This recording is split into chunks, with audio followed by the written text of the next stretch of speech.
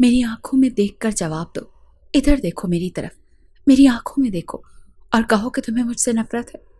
चलो शाबाश, बोलो। वो उसे दीवार से लगाए, उस पर हावी हो रहा था। वो जो अपना चेहरा झुकाए, किसी तरह उसे नाराज़गी में ही सही, खुद से दूर करने की कोशिश कर रहे थे। वो एक जानब दीवार पर अपना हाथ रखे, दूसरे हाथ से उसकी ठोड़ी को थामे हुए बार बार यही कह रहा था कि, आप बोलो भी। वरना मान लो कि तुम मुझसे अभी भी इतनी ही मोहब्बत करती हो। जवाब में उसने आँखों में आँसू और गुस्सा लिए घूर कर देखा था, चुप हो जाओ। तुम जबान बंद रखो अपनी। तुम क्या समझते हो? तुम जो मर्ज़ी करते फिरोगे और मैं फिर भी तुमसे प्यार करूँगी। जाओ और उस अलीना, नीशा और उस सो कॉल्ड मुनस्सा के पास, मेरे पास क्या करने आए हो? तुम्हें मैंने कहा था ना, तुम मेरे अलावा किसी लड़की से बात नहीं करोगे। फिर किसकी इजाज़त से तुम उनके साथ बैठे? उनकी ट्रीट ले रहे थे? मेरा बस चले तो मैं तुम्हें सबकी नज़रों से छुपा लूँ, बल्कि तुम्हारी यूनिवर्सिटी तक छुड़वा दूँ। तुम्हारी आँखें निकाल कर तुम्हें अंधा कर दूँ। समझे तुम? उसके मुँह में जो आ रहा था, वो बोलती चली जा रही थी, और वो उसकी आँखों में देखता, मोहब्बत भरी नज़रों से बस मुस्कुराए जा रहा था। कहने लगा, इतनी मोहब्बत? अरे यार समझने की कोशिश करो। वो बस एक ट्रीट थी जो मैंने ले ली। मेरे दिल में, मेरे दिमाग में, मेरी नस नस में। तुम ही तो बसी हो। तुम्हारे अलावा कोई भला मेरी ज़िंदगी में इतना अहम हो सकता है? चलो शाबाश। रोक दो। मैं वादा करता हूँ, आज के बाद तुम्हारे अलावा किसी से बात भी नहीं करूँगा। आज शाम में तुम्हारे घर भी आ जाऊँगा। फिर दोनों पार्क में घूमने फिरने चलेंगे। और अगर ताईजान ने इजाज़त दे दी तो दोनों डिनर भी बाहर ही करेंगे। क्या कहती हो? वो अपने हाथ उसके कांधों पर रखकर बोला तो वो भी हल्के से मुस्कुरा दी। इतनी जल्दी तो माफ़ नहीं करने वाली मैं। चुपचाप शाम को चचा चची को साथ लेकर आना। मुझे अपनी उस उंगली में मंगनी की अंगूठी चाहिए। समझे? उसे कॉलर से पकड़कर जिस तरह अपनी जानब खींच कर उसे बोली थी, वो तो जैसे उस पर फिदा ही हो चुका था। कहने लगा, अरे हिटलर लड़की, कसम से, तुम्हारी ये बातें मुझे हैरत में मुब्तला कर रही हैं। तुम शायद वाहिद लड़की होगी, जो खुद अपने होने वाले शोहर को धमका कर मंगनी की अंगूठी मांग रही हो। अरे यार, इतनी जल्दी भी क्या है? पहले सेमेस्टर तो कंप्लीट कर लो। इसे खुद से दूर धक्का देकर कहने लगी कि हाँ बस ठीक है। फिर मेरे इतने करीब आने की भी कोशिश ना करो। जब शादी होगी ना तो फिर ही आया करना मेरे इतने पास। हटो। वो उसे खुद से दूर करती, उससे पहले ही वो उसे थोड़ी सी दबोच कर कहने लगा, उफ, मेरी ड्रामा क्वीन, चाहती क्या हो तुम? तुम्हारी हर बात मान तो रहा हूँ। कहा है ना कि किसी भी लड़की से बात नहीं करूँगा। अगर किसी ने कोशिश भी कही तो कहूँगा कि जाओ। जाओ मेरी गर्लफ्रेंड कम बीवी ज़्यादा है, उससे जाकर बात करो। मैं तो उसी का बेदार बंदा। अभी वो दोनों यूनिवर्सिटी के पिछले हिस्से में बातें कर कर हंस ही रहे थे कि जब वहाँ पर गार्ड आ गया, हाथ में मोबाइल पकड़े, आँखों में चमक लिए। न जाने वो किससे वीडियो कॉल पर बात कर रहा था, मगर जैसे ही उसकी नज़र इन दोनों पर पड़ी तो वहीं पर ठिटक कर रुक गया। शहर और आदिल भी फ़ौरन एक दूसरे से अलग हुए थे। शहर के तो चेहरे की हवाइयाँ उड़ी थी, जबकि आदिल बिल्कुल नॉर्मल था। गार्ड इन दोनों को गुस्से से देखकर आगे बढ़ने लगा। कहने लगा, ये क्या हो रहा है यहाँ पर? शर्म नहीं आती तुम लोगों को? जाकर बताओ मैं मैम को। ये सब कुछ करते फिर रहे हो तुम लोग यहाँ? तुम्हारे माँ बाप तुम लोगों पर कितना एतबार कर कर तुम्हें यहाँ पढ़ने के लिए भेजते हैं, ताकि तुम लोग पढ़कर उनका नाम रोशन कर सको। मगर तुम लोग पढ़ने के बजाय यूनिवर्सिटी के इसलिए हिस्से में छुप कर ये गंदा काम कर रहे हो? वो गुस्से से उन्हें डांट रहा था। शहर तो बहुत ज़्यादा डर चुकी थी, घबरा रही थी। मगर अगली ही पल आदिल ने अपने दोनों हाथ उस गार्ड के कांधों पर रखे और फिर बड़े ही धीमे लहचे में कहने लगा, सर जी इतना गुस्सा दिखाकर क्यों अपना बीपी हाई कर रहे हो? ये कोई गैर नहीं, मेरे ताया की बेटी है। हमारा निकाह हो चुका है। बस यही चंद माह है यूनिवर्सिटी में पढ़ाई मुकम्मल होने के बाद शादी हो जाएगी। अपनी जो ज़बान है ना, इसको ज़रा लगाम देकर रखें। आपके जो करतूत है ना, हमसे ढके छुपे नहीं हैं। रोज़ इस वक्त यूनिवर्सिटी के खुफिया हिस्से में बैठकर वीडियो कॉल पर आप जो कुछ कर रहे होते हैं ना, हमसे ढका छुपा नहीं। समझे? ये पकड़िए पैसे और अपनी जबान बंद रखो। चलो यहाँ से। इतना कहकर उसने शहर का हाथ पकड़ा और वहाँ से सीधा दूसरी तरफ़ जा चुका था। गार्ड का तो चेहरा सुर्ख लाल हुआ था। वो पैसे उसने अपनी जेब में डाले और कहने लगा, अमीर बाप की औलादें, बड़ी अकड़ दिखा रही हैं। तो मैं छोड़ने वाला तो नहीं हूँ मैं। बड़े आए, निकाह हो चुका है, निकाह हो चुका है। तो क्या सुहागरात यहीं पर यूनिवर्सिटियों में मनानी है? तुम लोगों ने मुँह में बड़बड़ाता हुआ चौकीदार वहाँ से आगे जा चुका था। मगर जिस हालत में उसने शहर को देखा था, उसकी नीयत बदल चुकी थी। शहर की चलती तेज साँसें और बालों की लटें, जो उसके चेहरे को मजीद चार चाँद लगा रही थी। ये देखकर वो चौकीदार थोड़ा सा कुमला सा गया। अपने मोबाइल पर वो एक मरतबा फिर ध्यान देने लगा। मगर शहर को देखने के बाद वो चाहकर भी उसका सरापा भूल ही नहीं पा रहा था। बार बार जहन में शहर का ही नक्श बनता जा रहा था। पूरा वजूद पसीने से शराबोर था और यही सोच रहा था कि मेरे साथ ये क्या हो गया है। कुछ देर बाद शहर वापस अपनी क्लास में आ चुकी थी। काफ़ी खुश थी। अपने साथ बैठी अपनी सहेली नताशा को बताने लगी कि आज वो और आदिल शाम को पार्क में घूमने के लिए जाएँगे। नताशा एक ठंडी सांस खारिज करके कहने लगी कि, यार, तुम्हारे तो मज़े हैं। लव मैरिज हो तो ऐसी। तुम दोनों तो बचपन ही से एक साथ हो। एक दूसरे को कितना पसंद करते हो। और घर वाले भी बगैर किसी रंजिश के तुम्हारी शादी के लिए भी मान चुके हैं। और एक हम हैं। अरसलान दो मरतबा रिश्ता लेकर हमारे घर आ चुका है, मगर मेरी अम्मी की तो बस सुई वहीं पर अटकी हुई है कि बेटी की शादी अपनी बहन के घर ही करूँगी। अब्बा के ख़ानदान में तो मुझे बयाना ही नहीं है। नताशा को दास देखकर सहरों से तसल्लियाँ देने लगी। जिस वक्त यूनिवर्सिटी से छुट्टी हुई तो वो आदिल के साथ ही उसकी बाइक पर बैठकर घर जाने के लिए निकली थी। दोनों के घरों में ज़्यादा फासला नहीं था। सिकंदर साहब ने खुद ही कह रखा था कि दोनों बच्चे एक साथ ही घर आ जाया करें। इस तरह हमें भी तसल्ली रहेगी। आदिल बाइक पर एक गाना गुनगुनाता हुआ मुसलसल शहर को शर्माने पर मजबूर कर रहा था और वो बाइक पर उसके पीछे बैठी हंसती चली जा रही थी। अभी कुछ ही आगे पहुँची थी कि अचानक बाइक का टायर पंक्चर हो गया। जहर बाइक से उतर कर खड़ी हो गई और आदिल के कांधे पर हाथ रख कर कहने लगी, अरे यार, अब क्या होगा? एक तो इतनी तेज धूप है, मेरा तो सर गोया पिघल रहा है। ऊपर से तुम्हारी एक खटारा बाइक। आदिल ने जब उसके मुँह से अपनी बाइक के लिए ये सुना तो कहने लगा, ओहो, बस करो, खुद ही खा खा कर मोटी होती जा रही हो। वज़न देखा है अपना? मेरी बेचारी बाइक तुम्हारा वज़न ही बर्दाश्त नहीं कर सकी। हटो अब मुझे देखने दो। अभी वो दोनों इन बातों में लगे थे जब सामने से एक कार आती हुई उनके पास रुक गई। कार को देखकर जहाँ आदिल के माथे पर बल पड़े थे, वहीं शहर तो खुशी से खिल उठी थी। शुक्र है आप आ गए। मैं तो यहाँ धूप में खड़ी खड़ी सीख कबाब होने वाली थी। वो आदिल को छोड़कर जाकर गाड़ी की तरफ़ भागी।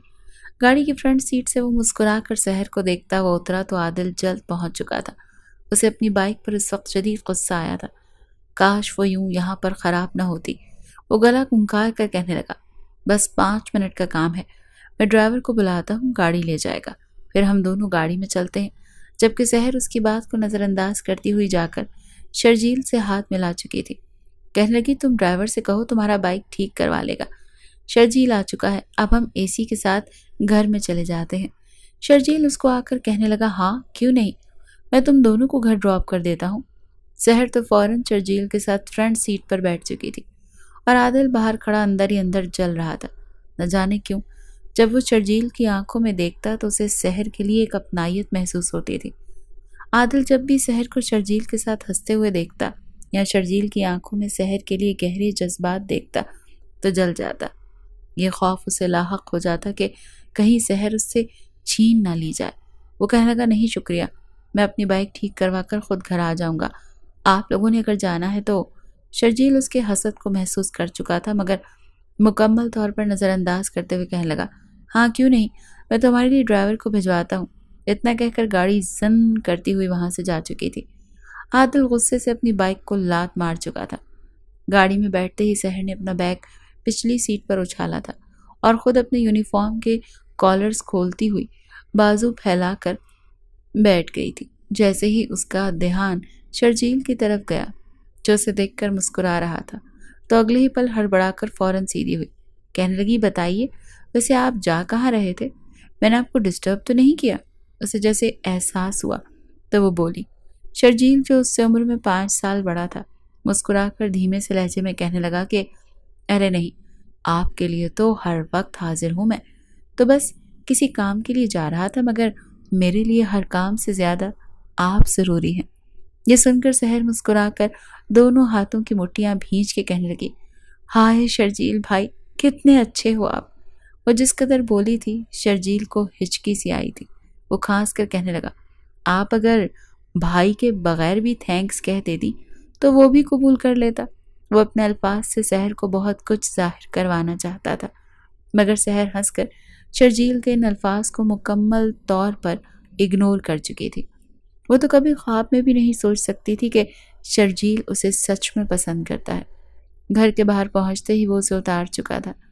उसने शर्जील को अंदर आने का कहा, मगर वो कहने लगा, नहीं, फिर कभी। ताई और ताया जान को मेरा सलाम दे देना। शर्जील शहर के चचा का बेटा था। सिकंदर साहब के दो भाई थे। माँ बाप की वफात उस वक्त हो गई जब ये तीनों भाई बहुत छोटे थे। सिकंदर साहब ने दोनों भाइयों को बिल्कुल औलाद की तरह पाल पोस कर जवान किया। पहले अपने दोनों भाइयों को उनके पैरों पर खड़ा करके उनकी शादियाँ करवाई और उसके बाद खुद शादी की। यही वजह थी कि उनके छोटे भाइयों के बच्चे, उनकी अकलौती लाडली बेटी शहर से बड़े थे। शहर को घर में दाखिल होते सीधा जाकर अपनी माँ को बाहों में लेकर उनके गालों पर बोसा देने लगी। अरे, आ गई मेरी शहजादी। चलो जल्दी से मुँह धो लो। तुम्हारे बाबा भी आने वाले हैं, फिर मिलकर सब खाना खाते हैं। वो मुस्कुराकर बोली तो शहर भी जल्दी से कमरे में गई थी। फ्रेश होने के बाद जब तक वो नीचे आई, सिकंदर साहब भी घर आ चुके थे। तीनों ने मिलकर खाना खाया था। उसने तो बातों ही बातों में अम्मी को भी बता दिया कि, अम्मी, आज शाम को मैं और आदिल घूमने जाएँगे। प्लीज़ इजाज़त दे दीजिएगा ना? वो तो उसे गौर करके देखती ही रह गई। क्या रोज़ रोज़ का तुम लोगों ने तमाशा बना रखा है? अभी पिछले हफ़्ते ही तो गई थी तुम घूमने उसके साथ। तुम्हारे पापा को पता चल गया ना तो तुम्हें तो उन्होंने कुछ नहीं कहना। लेकिन मेरी वो बेजती करनी है ना कहेंगे, सारी मेरी दी हुई ढील है। वो जानती थी कि जब आदिल आकर बड़े ही प्यार से अपनी ताई अम्मी को कहेगा तो उसने ना नहीं कर पाएँगे, क्योंकि उन्हें आदिल बिल्कुल अपने बच्चों जैसा अज़ीज़ था। शाम के पाँच बज चुके थे, मगर ना ही आदिल की कॉल आई थी और ना ही वो खुद आया था। शहर तैयार बैठी थी। वो कब से आदिल को कॉल कर रही थी, मगर वो हर बार कॉल काट रहा था। आखिर में व्हाट्सएप पर वॉइस मैसेज करके कहने लगी, ऐसी भी कौन सी मसरूफियात आ गई हैं तुम्हारी? और कॉल का जवाब तक नहीं दे सकते हो। जवाब में उसने गुस्से वाले इमोजी भेज कर कहा, नहीं करनी मुझे तुमसे बात। जाओ अपने उस शर्जील भैया के पास। वही तुम्हें पार्क में घुमाने लेकर जाता है। जब तुम्हें पता है कि मैं शर्जील को अच्छा नहीं समझता, अजीब फितने बाज मर्द है, फिर भी तुम उसके साथ घर चली आई। जहर उसे सफाइयाँ पेश करती रह गई कि ऐसी कोई बात नहीं है। वो गैर थोड़ी है, हमारा कज़न है, हमारे चाचू का बेटा है। वो जिस तरह शर्जील की सफाइयाँ पेश कर रही थी आदिल गुस्से से फ़ोन ही बंद कर चुका था। वो तैयार होकर फ़ोन उठाए, उस वक्त लॉन में खड़ी थी कि तभी दरवाज़ा खुला।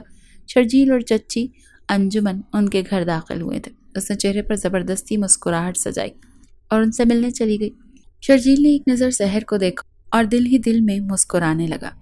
चची तो अंदर चली गई, मगर शर्जील दोनों हाथ पैंट की जेब में डाले। शहर को बड़े गौर से देख रहा था। सहर ने उसे खुद की जानब देखा तो वो चेहरे पर मुस्कुराहट सजा कर कहने लगी, आप मुझे ऐसी क्यों देख रहे हैं? क्या ज़्यादा क्यूट लग रही हूँ? जवाब में शर्जील मुस्कुरा कर कहने लगा कि हाँ बहुत ज़्यादा क्यूट वैसे इतनी तैयारी किस लिए कर रखी है? क्या कहीं जाने लगी थी? वो कहने लगी कि हाँ इरादा तो था जाने का, मगर ये आदिल पता नहीं क्या मसला है। कि कह रहा था कि मेरे साथ पार्क में चलना और ख़ुद मुँह बनाकर बैठ गया है, पता नहीं इसे क्या है? शर्जील वो आपसे इतना जलता क्यों है? जिस कदर बोली सहर थी। वो शर्जील के मुँह पर ही ये बोल चुकी थी, जबकि वो हंसकर कहने लगा कि, आप छोड़िए उसे। मेरे साथ अंदर चलिए, आपके लिए सरप्राइज़ है। अभी तो आदिल को और भी बहुत कुछ होगा। वो शर्जील की बात को समझ नहीं रही थी। फिर भी शर्जील के साथ चलती हुई जब वो लाउंज में दाखिल हुई तो चच्ची अंजुमन ने दोनों को एक साथ देखा। चेहरे पर मुस्कुराहट थी और दोनों को एक साथ देखकर वो सिकंदर और नादिया बेगम से कहने लगी, देखिए ना भाई साहब दोनों बच्चे एक साथ कितने प्यारे लग रहे हैं। बिल्कुल चाँद तारे की जोड़ी लग रही है। क्या कहते हैं? आप फिर, मैं अपनी सहर बेटी को हमेशा हमेशा के लिए अपनी बेटी बना लूँ? मुझे तो शुरू ही से ये ख्वाहिश थी कि मैं अपने शर्जील की शादी अपनी सहर से करवाऊँ। अल्लाह ताला ने मुझे कोई बेटी नहीं दी, मगर मैं इसे ही अपनी बेटी मानती हूँ। एकदम से सिकंदर साहब के चेहरे के तासरात बदले थे। वहीं नादिया बेगम भी हड़बड़ाई थी। आज से दो साल पहले तो सहर और आदिल के रिश्ते की बात हो चुकी थी। ढके छुपे अल्फाज में उन्होंने अंजुमन को भी बता दिया था, मगर क्या सब जानते बूझते भी शहर का रिश्ता शर्जील के लिए मांग रही थी? जिस पल ये अल्फाज शहर तक पहुँचे तो उसके माथे पर बल पड़ चुके थे। बगैर लिहाज की सारी तरबियत को एक तरफ़ रखती हुई बोल पड़ी थी कि, चची, ये आप क्या कह रही हैं? मैं और आदिल एक दूसरे को पसंद करते हैं। हमारी मंगनी हो चुकी है। इसका ज़िक्र आपके सामने भी किया गया था। मगर ये बात पूरे ख़ानदान वाले जानते हैं। सब जानते बूझते भी आप शर्जील भाई का रिश्ता लेकर कैसे आ सकती हैं? अंजुमन बेगम का तो रंग सफ़ेद पड़ चुका था। शर्जील को भी उम्मीद नहीं थी कि सहर यूँ जबान दराजी भी कर सकती है। शर्जील कहने लगा सहर बड़ों के मामला में आपको हक नहीं पहुँचता कि आप बड़ों से बदतमीज़ी करें। मगर अगले ही पल वो चिल्ला कर कहने लगी कि, बस बस, तभी मुझे आदिल कहता था कि मैं आपसे दूर रहूँ। आपका असली चेहरा तो अब सामने आ रहा है। जानते पूछते आप मेरे और आदिल के बीच फूट डलवा रहे हैं। शर्म नहीं आती आपको? हम दोनों से उम्र में बड़े हैं। बिला वजह कबाब में हड्डी बनते जा रहे हैं। आप चले जाएँ यहाँ से। मैं सिर्फ़ और सिर्फ़ आदिल की हूँ। सिकंदर साहब को अपनी बेटी की इस हरकत पर गुस्सा तो आया था, मगर वो पैर पटकती हुई अपने कमरे में जा चुकी थी। एक मरतबा फिर कमरे में जाकर आदिल को कॉल की। दूसरी बल पर आदिल ने कॉल उठा ली। इससे पहले कि वो धाड़ कर उससे बातें सुनाता, वही उस पर धाड़ी थी। कहाँ मर गए हो तुम? आए क्यों नहीं अभी तक? जानते भी हो, शर्जील और अंजुमन चच्ची इस घर में मेरा रिश्ता लेकर आ चुके हैं। तुम बस अपनी अना और अपनी जिद में ही रहना, समझे? इतना कहकर वो रो रही थी, जबकि आदिल के तो पैरों के नीचे से ज़मीन निकल चुकी थी। वो गुस्से से तड़प उठा था कि ये क्या कह रही हो? शर्जील की इतनी हिम्मत, इतनी औकात हो गई उसकी। जान बूझ कर वो जो ड्रामेबाजियाँ कर रहा है ना, वो अच्छा लड़का नहीं है। मैं तुम्हारा दुश्मन नहीं हूँ, तभी तुम्हें उससे दूर रख रहा था। मगर तुम फिर भी उसके साथ गाड़ी में बैठ कर चली गई। आदिल की बातें सुनकर शहर के दिल में उसके लिए नफरत बढ़ गई। कुछ देर बाद अंजुमन और शर्जील वहाँ से जा चुके थे। अंजुमन बेगम के दिल में पहले जो शहर के लिए थोड़ी बहुत उनसीयत थी, वो भी अब ख़त्म हो चुकी थी। घर जाते ही अपनी चादर उतार कर फेंकी और शर्जील से कहने लगी, तुम्हारी वजह से मैं उस छटांग भर की लड़की से बेइज्जती करवा कर आई हूँ। अब तो सिकंदर भाई साहब अपने घुटनों पर भी चलकर मेरे पास आएँगे तो मैं उन्हें मुँह नहीं लगाऊँगी। शर्जील तो सर पकड़कर बैठ गया था। उसे शहर की किसी अंदाज से ये नहीं लगा था कि वो उसे छोड़कर आदिल को पसंद करती है, वरना कभी भी अपनी वालदा को रिश्ते के लिए ना भेजता। फिर आदिल जैसे वेल सेटल्ड बिजनेसमैन के बेटे को छोड़कर शर्जील जैसे लड़के को क्यों अपनी लाडली बेटी के लिए चुनते? जिसे अभी अभी पुलिस की नौकरी ज्वाइन की थी और फ़िलहाल उसका कोई मुस्तकबिल नहीं था। शर्जील कहने लगा, अम्मी बा खुदा मुझे इल्म नहीं था, वरना आपको कभी भी ये खिफत ना उठानी पड़ती। दूसरी तरफ़ आदिल ने अगले ही रोज़ रिश्ता पक्का करवाने के लिए अपने घर वालों को शहर के घर भेज दिया था। शहर किसी दुल्हन की तरह फैंसी मैक्सी पहनकर तैयार हुई थी। आदिल भी साथ ही आया था और सबकी रजामंदी से उसने शहर को अंगूठी पहनाई थी। फिर उसके कान में कहने लगा, हो गया तुम्हारा शौक पूरा? पहन ली ना मेरे नाम की अंगूठी? शहर के चेहरे पर जानदार मुस्कुराहट छाई थी। शर्जील को शहर ने अपनी और आदिल के मंगनी की तस्वीरें व्हाट्सएप की थी। वो इस वक्त अपनी गैलरी में खड़ा था। उसके मोबाइल पर व्हाट्सएप की थीम बजी। जैसे ही उसने अपना मोबाइल व्हाट्सएप खोला, सामने ही सहर और आदिल की मंगनी की तस्वीर थी। उन्होंने तो अंजुमन को बुलाने की भी जहमत नहीं की थी। एक नज़र शर्जील ने शहर के सरापे पर डाली। फिर एक ठंडी आह लेकर मोबाइल बंद कर कर साइड पर रख दिया। जेब से सिगरेट निकालना और पीने लगा। उसकी नज़रें आसमान की तरफ़ थी। सोच रहा था कि चाँद को यूँ देख कर उसे अपने आँगन में लाने की ख्वाहिश हर शख्स रखता है। लेकिन चाँद को अपने दामन में कर लेना हर एक की किस्मत में कहाँ होता है? और शहर उसके लिए एक ऐसा ही चाँद थी, जिसकी वो ख्वाहिश तो कर सकता था, लेकिन उसका हसूल बहुत मुश्किल था। कल के अब तो नामुमकिन था। फिर भी वो खुश था कि शहर को उसकी मोहब्बत मिल गई। लेकिन शहर का मकसद शर्जील को जैलिस करना था। उसे यह एहसास दिलाना था कि उसने शर्जील को रिजेक्ट करके आप लोगों को अपने लिए पसंद किया है। इस तरह से शायद उसकी अना को तस्कीन मिलेगी। इसके बाद शहर और आदिल के बीच में आना छोड़ दिया था। बस अपने ही काम पर फोकस करता था। वैसे भी उसकी ड्यूटी बहुत हार्ड थी। एक बार सिकंदर साहब ने उसे अपने ही किसी काम से बुलाया। उस वक्त शाम का वक्त था। सिकंदर साहब ने कहा कि चंद दिन से मैं ऐसा महसूस कर रहा हूँ, जैसे कि, जैसे कोई हमला करना चाहता है, और मैं सिक्योरिटी चाहता हूँ। चंद सवाल पूछने के बाद शर्जील ने सिकंदर साहब से कहा कि, आप बेफिक्र रहें मैं देखता हूँ कि आपके पीछे कौन आ रहा है। सिकंदर कहने लगा कि मैं तुमसे इस सिलसिले में बात करना चाहता था और अब मैं मुतमिन हूँ कि तुम अपना काम बखूबी सर अंजाम दे दोगे। कहने लगा, फ़िक्र ना करें और बेफिक्र हो जाए।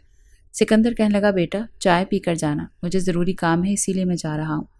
एन उसी वक्त आदिल और सहर भी बाहों में वाहें डाले घर में दाखिल हुए। सिकंदर से सलाम करके उनके साथ अपने कमरे में जाने लगी थी, लेकिन जैसे ही शर्जील को लाउंज में बैठा देखा, आदिल को एक इशारा करके वहीं बैठ गई। बिल्कुल शर्जील के सोफे के सामने, आदिल के बिल्कुल बराबर में। शहर का मकसद शर्जील को जलाना था। कहने लगी कि, शर्जील आपने तो हमें हमारी इंगेजमेंट की मुबारकबाद ही नहीं दी।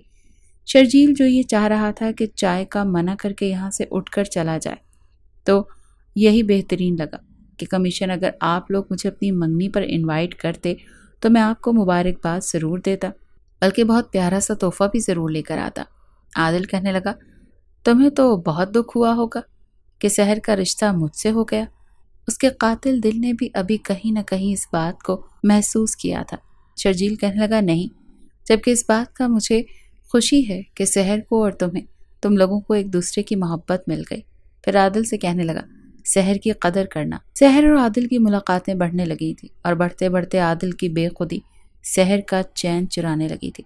एक बार वो यूनिवर्सिटी के एक ऐसे डिपार्टमेंट में शहर को ले गया, जिसे रेनोवेट के लिए खाली करवाया गया था। वहाँ ना कोई प्रोफेसर था और ना ही कोई स्टूडेंट्स।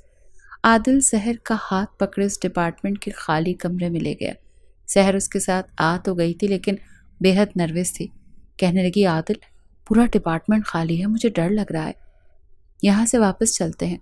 आदिल कहने लगा, कम ऑन, डार्लिंग। जब मैं हूँ तो डरने की कोई बात नहीं। ये कहते हुए उसने शहर की कलाई खींच कर उसे अपने हिसार में लिया था और फिर बेखुदी में उसकी गुस्ताखियाँ बढ़ने लगी। शहर उसे मना कर रही थी। आदिल बेखुदी में किसी की नहीं सुन रहा था कि कब अचानक से कमरे का दरवाज़ा खुला। चौकीदार खड़ा उन दोनों को देख रहा था, बल्कि उसकी नज़रें आदिल से ज़्यादा शहर पर जमी हुई थी। वो दोनों ही चौकीदार को देखकर एक दूसरे से पीछे हटे। चौकीदार ने कमरे का दरवाज़ा बंद किया और कहने लगा, मैंने तुम लोगों की वीडियो बना ली है और अब मैं वो प्रिंसिपल को दिखाऊँगा। ये सुनकर आदिल चौकीदार के पास आ गया और कहने लगा वो उसे पैसे देने को तैयार है, लेकिन वो उसकी और शहर की वीडियो डिलीट कर दे। शहर रोने लगी क्योंकि अगर ये वीडियो प्रिंसिपल के पास पहुँच जाती तो वो बदनाम हो जाती।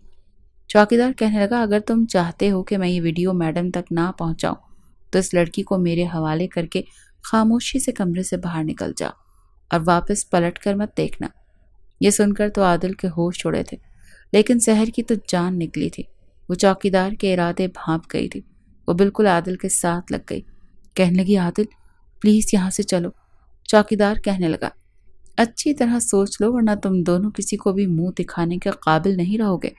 आदिल कहने लगा, मुझे तुम्हारी बात मंजूर है, लेकिन देखो, तुम वो वीडियो किसी को नहीं दिखाओगे। ये कहते हुए आदिल ने शहर को चौकीदार की तरफ़ धकेला था।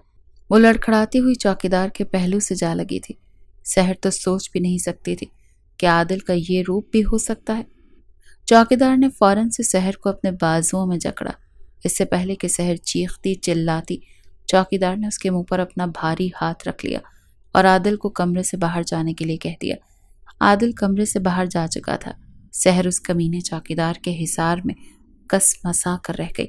चौकीदार ने शहर की इज़्ज़त को तार तार करके रख दिया और आदिल कमरे के बाहर खड़ा। बस इस बात के लिए परेशान था कि कहीं उसकी वीडियो प्रिंसिपल के पास ना पहुँच जाए। और उसकी इज़्ज़त का जनाजा ना निकल जाए।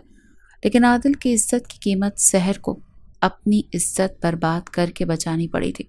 चौकीदार ने शहर को बर्बाद करके किसी बेजान चीज़ की तरह वहीं पड़ा रहने दिया और कमरे से बाहर निकलकर वादे के मुताबिक वीडियो डिलीट कर दी। जब आदिल कमरे में आया तो शहर की बिखरी हालत देखकर कहने लगा, आई एम सॉरी शहर, लेकिन मेरे पास दूसरा कोई रास्ता नहीं था। तुम प्लीज़ अपना हुलिया ठीक करो और किसी से कुछ मत कहना। शहर उसकी शक्ल देखती रह गई, कहने लगी, आदिल, तुम मेरे मुहाफिज थे। तुमने क्यों मुझे नहीं बचाया? उस शख्स ने मुझे बर्बाद करके रख दिया। तुम मुझे यहाँ क्यों लेकर आए थे? शहर हिजियानी कैफियत में रोए जा रही थी, बोले जा रही थी। आदिल उसे यूनिवर्सिटी से बाहर ले गया और उसे उसके घर के बाहर उतार कर कहने लगा घर वालों से कह देना कि गाड़ी का छोटा सा एक्सीडेंट हो गया था, इसलिए तुम्हें चोटें लग गई, क्योंकि शहर के चेहरे पर जख्म के निशान थे। इसीलिए उसने आदिल की इस बात को भी मान लिया, लेकिन इसके बाद वो यूनिवर्सिटी नहीं गई। दो चार दिन तो आदिल ने फ़ोन करके उसे बड़ी तसल्ली दी, मगर इसके बाद शहर से कह दिया कि वो आगे नहीं बढ़ना चाहता। ये सुनकर उसके वालदेन ने कहा कि अगर पढ़ना नहीं चाहती तो तुम्हारी शादी करवा देते हैं। लेकिन अब आदिल उससे बात करने से कतराने लगा था। वो जब भी आदिल को फ़ोन करती, वो फ़ोन बंद कर देता। उसके वालदेन ने जब आदिल के घर वालों से शादी की बात की तो वो कहने लगे कि आदिल अभी नहीं मान रहा। कहता है कि दो तीन साल तक शादी नहीं करूँगा। ये सुनकर सहर और भी ज़्यादा परेशान हो गई। बार बार आदिल को कॉल कर रही थी, लेकिन वो उससे बात नहीं कर रहा था। उसने व्हाट्सएप पर मैसेज किया, तुम्हें हो क्या गया है? शादी से क्यों इनकार कर रहे हो? मैं यहाँ परेशान हूँ और फिर इस वक्त मुझे तुम्हारी ज़रूरत है। आदिल कहने लगा कि, देखो, मैं तुमसे झूठ नहीं बोलूँगा, लेकिन मैं इस वाक़े को भुला नहीं पा रहा। और मैं किसी भी ऐसी लड़की के साथ शादी नहीं कर सकता जो पहले से ही दागदार हो। यह सुनना था कि शहर के सर पर आसमान गिर पड़ा था। कहने लगी, आदिल, तुम ये क्या कह रहे हो? तुम जानते हो ना कि इसमें मेरा कोई कसूर नहीं है और तुम ही मुझे उस डिपार्टमेंट में लेकर गए थे और मेरे साथ गुनाह कर भी रहे थे। अगर वो चौकीदार वहाँ पहुँचता तो तुम भी मेरे साथ। ये कहने के बाद शहर फूट फूट कर रोने लगी। आदिल के लिए लगातार रो रही थी, लेकिन अब बात और थी। मैं तुम्हें कोई भी ऐसा इम्तिहान नहीं दे सकता। फिर कहने लगा, ऐसा करो कि तुम शर्जील से शादी कर लो, और वैसे भी बेवकूफ़ और गरीब सा लड़का है, और तुम्हारी पुप्पो का बेटा भी है। वो तुम्हें अपना ही लेगा, उसे कुछ भी पता भी नहीं चलेगा, तुम्हारी इज़्ज़त भी रह जाएगी, लेकिन मैं तुम्हें कभी भी नहीं अपनाऊँगा, क्योंकि मैं तुम्हारे सच से वाकिफ़ हूँ। सोच भी नहीं सकती थी कि आदिल उसे यूँ भी धोखा देगा। और रोने लगी। आदिल ने रिश्ता तोड़ दिया। सिकंदर साहब को इतना गुस्सा आया कि उन्हें भाई से मेल जोल ख़त्म कर दिया। इस वक्त उन्हें अंजुमन याद आई शर्जील का ख्याल था कि शर्जील को ये पता चला, आदिल ने शहर से रिश्ता तोड़ दिया। तो वो माँ बेटा दोनों ही अफसोस के लिए घर पर आए। तब सिकंदर ने बहन के सामने हाथ जोड़कर मिन्नत की कि उसकी बेटी बदनाम हो जाएगी। इस वक्त उसकी बेटी को इज़्ज़त की ज़रूरत है। अगर उसकी बहन उसे अपनी इज़्ज़त की चादर में ढांप ले तो सिकंदर अंजुमन का एहसान मन रहेगा। अंजुमन ने सिकंदर के जुड़े हुए हाथों को अपने हाथों में लिया और कहने लगी, मुझे, वो अब भी कबूल है। यूँ शर्जील और शहर का रिश्ता तय हो गया और एक ही महीने में उनकी शादी हो गई। शहर दुल्हन बनी शर्जील के कमरे में बैठी थी, लेकिन दिल में कोई भी जज्बात नहीं थे, क्योंकि बर्बाद होकर शर्जील के हिस्से में आई थी और वह इस बात से अनजान था। शर्जील ने सोच भी नहीं सकता था कि उसे यूँ अपनी मोहब्बत मिल जाएगी। हैरत उसे इस बात की थी जब वो दो लोग दूसरों से इतनी मोहब्बत करते थे। तो फिर आदिल ने रिश्ता क्यों तोड़ा? बहरहाल जब वो कमरे में दाखिल हुआ तो शहर को देखकर कुछ उसके हुस्न के शहर में खो चुका था। कमरे का दरवाज़ा बंद करके जैसे ही वो बेड पर बैठा, शहर बिदक कर पीछे हटी और कहने लगी, मुझसे दूर रहें शर्जील। ये सुनकर वो हैरान हुआ, कहने लगा, क्या बात है शहर? क्या ये रिश्ता तुम्हारी मर्ज़ी से नहीं हुआ? ये सुनकर रोने लगी और कहने लगी शर्जील मैं आपके काबिल नहीं। मैं आपके साथ झूठ बोलकर कोई भी रिश्ता कायम नहीं कर सकती। मुझे नहीं पता था कि मेरे वालदेन ने आपके साथ मेरा रिश्ता क्यों तय कर दिया। शायद उन्हें अपनी इज़्ज़त का खौफ था। और मुझे भी, चुप रहने के लिए। मुझे भूल गया। शर्जील कहने लगा, मैं तुम्हारी कोई भी बात समझ नहीं पा रहा। तुम कहना क्या चाहती हो? रोते रोते सहर ने शर्जील को सब कुछ बता दिया। ये सुनकर तो शर्जील जैसे पत्थर का हो गया। वो जान चुका था कि आदिल ने क्यों इनकार किया। उसे सबसे ज़्यादा गुस्सा आदिल पर था। वो शहर को एक खाली डिपार्टमेंट में क्यों लेकर गया? और फिर जाकर देर के बाद सुनकर उसका कोई और बेटा था। कहने लगा, मैं उन दोनों को छोड़ूँगा नहीं। शहर रोए जा रही थी। शर्जील ने उसे हाथ तक नहीं लगाया। कहने लगा, तुमको अपने कपड़े तब्दील करके लेट जाओ। चंद ही दिनों में चौकीदार जेल में था और जिस तरह से शर्जील ने उसका रिमांड लिया था, वो सारी सच्चाई उगल चुका था। शर्जील ने उसे पाँच साल कैद दिलवाई थी। आदिल को बस इसलिए छोड़ दिया क्योंकि वो उसके मामू साथ बेटा था। जब शहर को ये पता चला तो वो शर्जील का शुक्रिया अदा करने लगी। कहने लगी कि मैंने हमेशा आदिल को तुम पर फोकियत दी। हालाँकि तुम मुझसे कई गुना बेहतर थे। अच्छे इंसान हो, लेकिन मैं खुद को तुम्हारे काबिल नहीं समझती। शर्जील ने उसका हाथ पकड़कर कहा क्यों मुझे नहीं लगता कि इसमें तुम्हारा कोई कसूर था।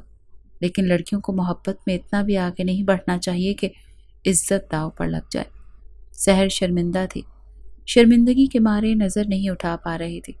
जब शर्जील उसके दोनों हाथों को अपने लबों पर लगाए कहने लगा, तुम मेरे लिए अब भी एक नेक और पारसा बीवी हो और मैं तुम्हारे माजी को हमेशा भूल जाऊँगा। क्योंकि मियाँ बीवी एक दूसरे का लिबास होते हैं और लिबास हमें ढांप लेता है। हमारे ऐप छुपा लेता है। ये सुनकर सहर आँसू बहाने लगी। कहने लगी कि, ज़रूर मैंने कोई नेकी की थी, जो मुझे तुम जैसा हम सफ़र मिला। लेकिन शर्जील जैसा हर एक की ज़िंदगी में नहीं आ सकता। इसीलिए लड़कियों को मोहब्बत में ऐसी हदें पार नहीं करनी चाहिए, कि उनकी ज़िंदगी नासूर बन जाए। आपकी क्या राय है?